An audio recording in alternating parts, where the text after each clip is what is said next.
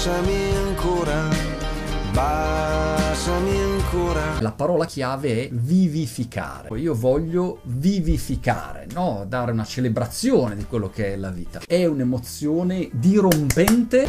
Baciami ancora, baciami ancora. E Giovanotti è una sorta di interessante artificiere della comunicazione.